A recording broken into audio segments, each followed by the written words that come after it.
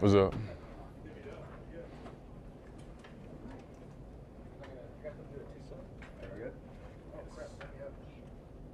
John, just from, I, I know from your vantage point, it might have been hard to see uh, everything that, that Dylan Moses was doing on Saturday, but just what, what can you say about his performance and how ready do you think he is for the Iron Bowl? Um, going uh, into the week last week, he had a really good good week at practice, and um, I think that showed on the field. And um, I think he's going to continue to have a good week and just continue to progress as a linebacker. And um, it's just all go show, like I said, on the field.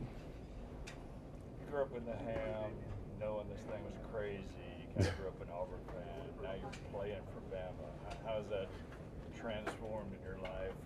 Uh, like I was just telling them, it was um, that's one of them games that you always growed up dreaming of playing in. And, uh, being able to play in it is uh, like a dream come true, and it's a whole bunch of fun. And um, I think I I done converted all the Auburn fans in my family to uh, roll with the Tide, so it's gonna be a lot of fun. See see their reaction Saturday. Is this the best rivalry in college football? I think so. It is. Growing up in the South, it, this is one of the um, games you look forward to in uh, around this time of the year. What are some of your favorite Iron Bowl memories growing up?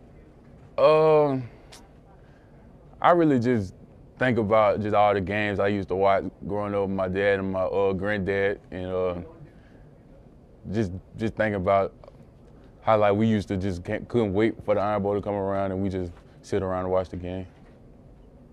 What kind of a challenge does, does Auburn's offense uh, present with, you know, the RPO is the ability to throw the deep ball? Um, I think Auburn has a, a really good team, and um, we haven't really dove into the film yet, but we're gonna do that like today, and um, I think we're gonna do a good job of just trying to play Bama football and just play play to our standard, and um, have a good week of practice and try to convert it to the Saturday. Is it hard to block all the stuff out that you got to block out to focus, and you know, or is it easy, easier than we think, brother?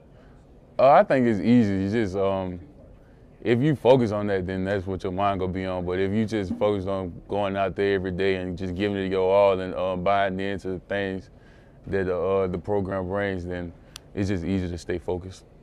Two more. Jerome, were you ever bullied as a kid? Nah.